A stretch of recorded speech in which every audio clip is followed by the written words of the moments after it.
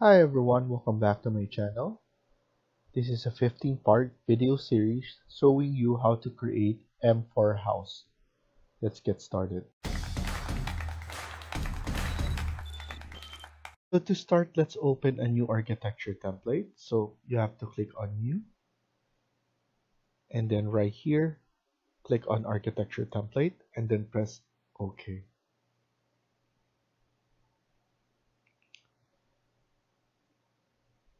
Now that's done. Uh, we have level 1 and level 2 at the moment. So level 1 is on the screen and active.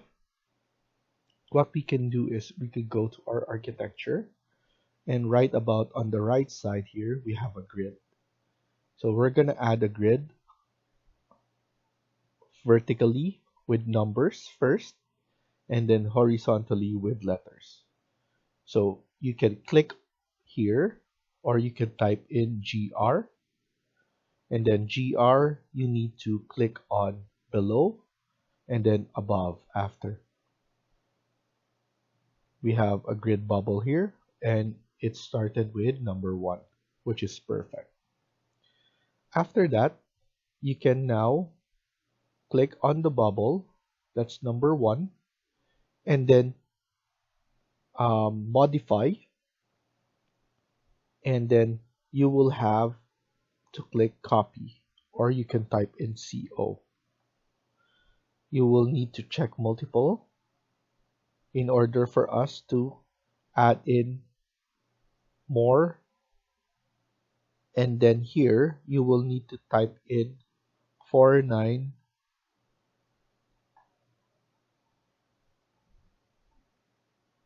nine zero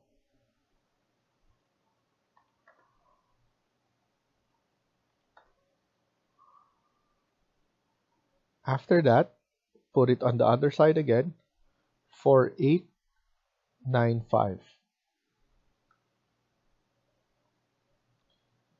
Press escape and then escape again. Next, the horizontal grid line, type in GR.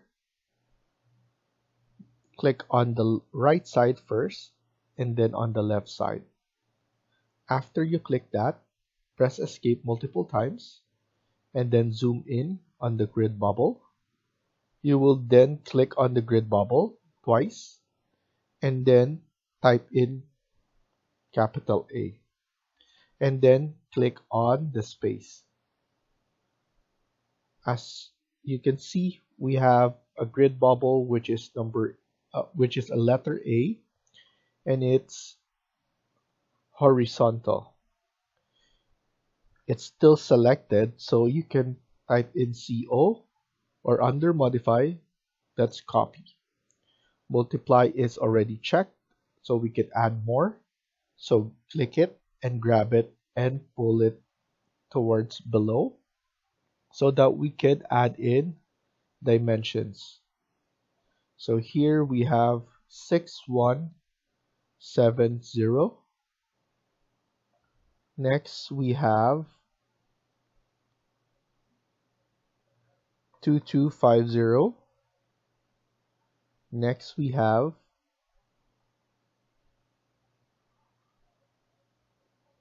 three seven six five.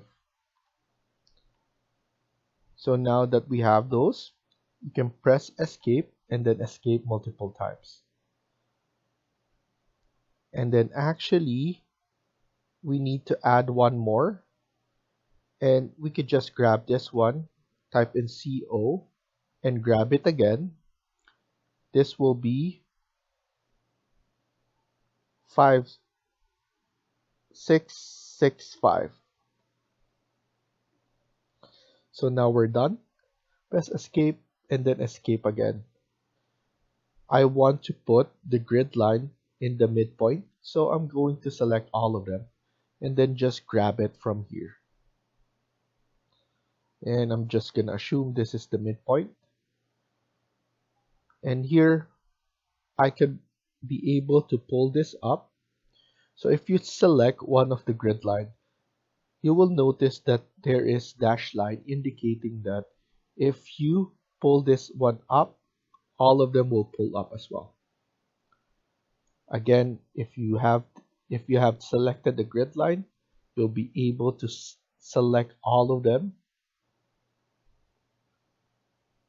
So right now, let's click on the dimension or DI. And then here we'll be able to add in the dimension for our grid lines. So first, usually we add grid lines from grid to grid and then a total or an overall dimension. Here I'm going to select all the grid line first. You can do it one, uh, one at a time or all of them at the same time and then an overall. I find that this one is too much so I'm gonna select one and then pull it towards near the grids and here we'll be able to change it and move it around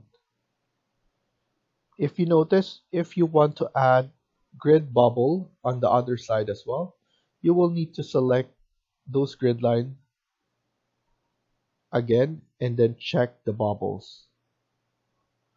So this will appear. You will need to check those. So that's the way you want to show all the grid lines on each side on each on each end now you can press escape and then escape again we're done with the grid line now let's do our south elevation and let's add in our level at the moment, we have level 1 up to level 2. What I'm going to do for level 1 is I'm just going to leave it like that. And then here on level 2, I want it to be 3000. If we add in a ground floor, we can able to change this to ground press yes and then here we'll be able to put it at let's say 400 but we'll need to change this to first floor.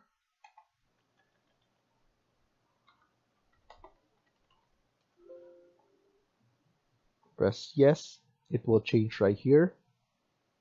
If you notice, we were not able to see it properly, but you will see here that you can add an elbow.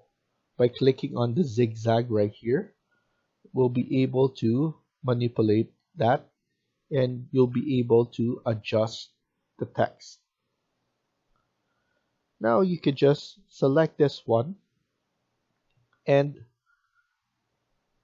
type out or type in CO or copy under modify, grab it, and then put it at 3000. And then another one at 3000 again. To change the name, put it at second floor. And then this one is roof. So that's good. And as you can see, those floor plans are not here at the floor plan. It's not showing. You will need to go to view and then click on plan view, floor plan, and then select the roof and then the second floor by holding on shift. If you have a lot, click on one and then select, hold the shift and select the last one and it will highlight everything and then press OK. Now that's good.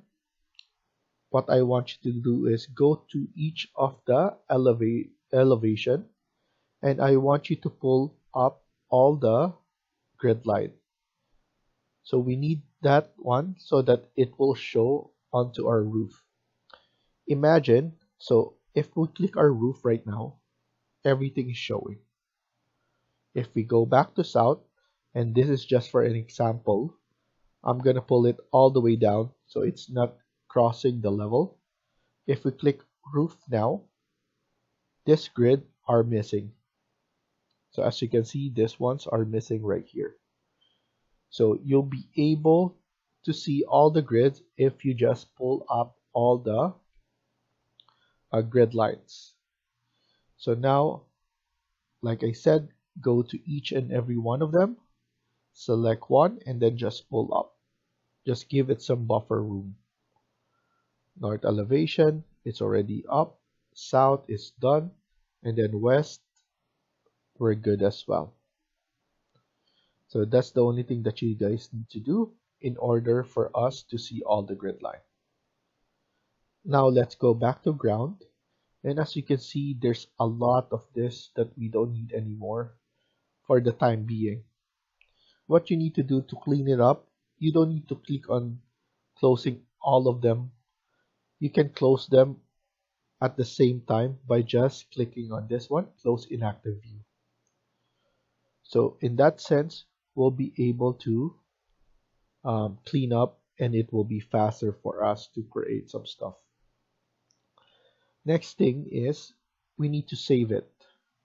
So click on save and then save it to the location.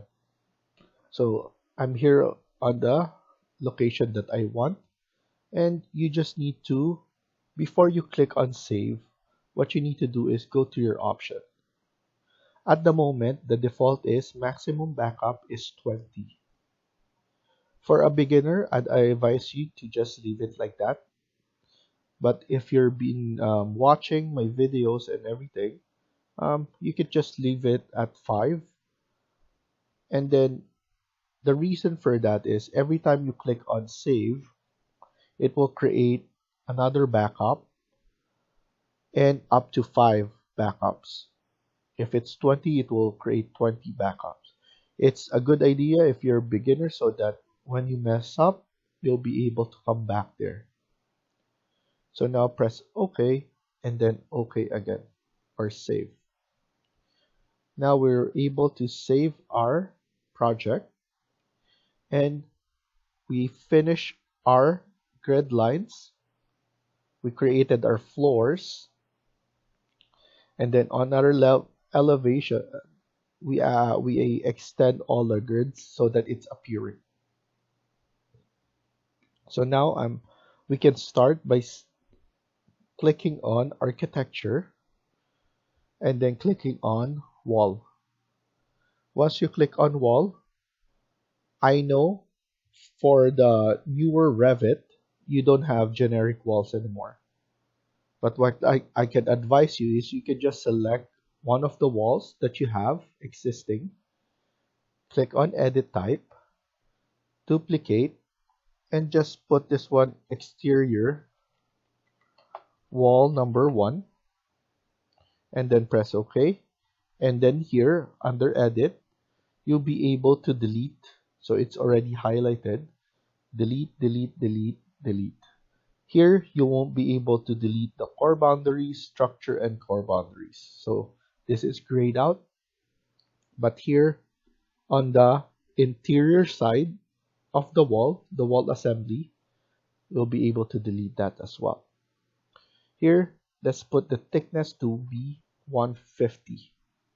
And then for the material, let's change this to gypsum wallboard. select the wall and then press OK, OK, and then OK.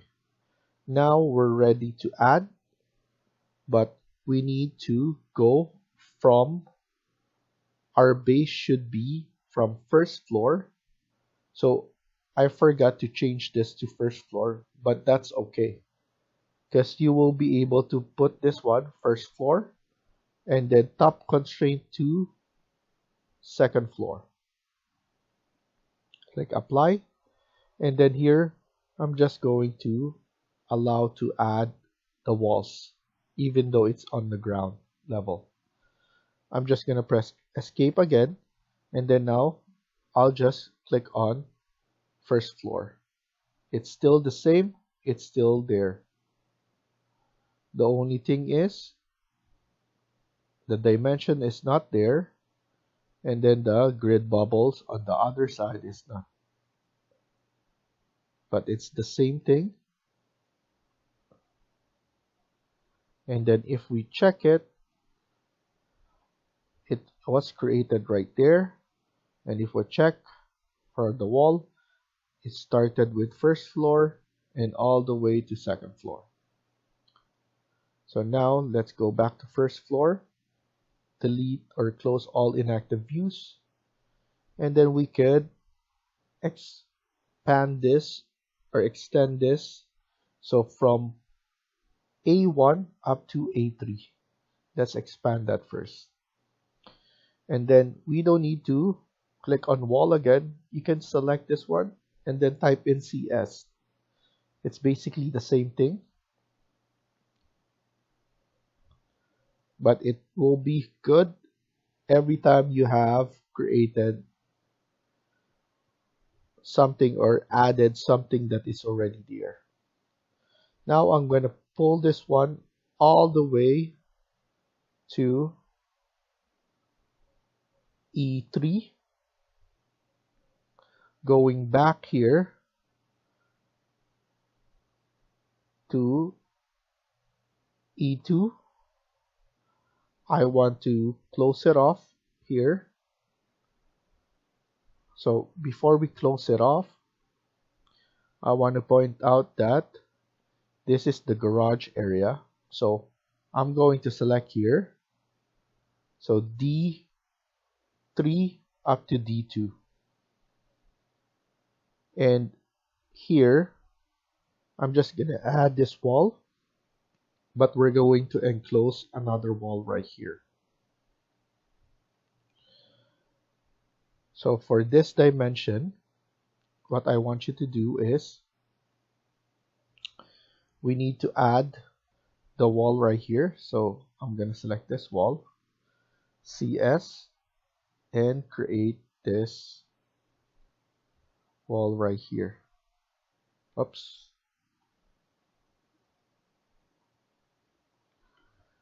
this wall is around 1500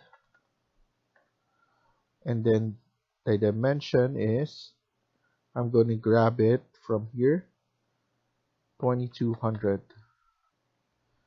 but you need to nudge this one in place because I want this one to be around I'm gonna grab it and then refer it to this one around 380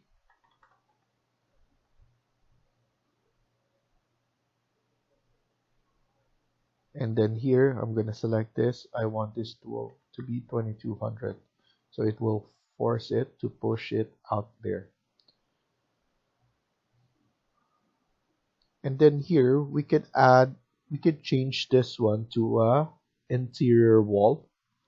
Or in this case it's still an exterior wall. So we could click TR to trim and extend. And this one we can extend it now all the way here select this wall again this is interior wall and then now we need to close it off up to D1 and then now we need to go up up to A1 So for now, everything is good. So we're going to continue on the next video. Thank you for watching and I hope you liked the video. Please hit like and subscribe. Feel free to comment down below.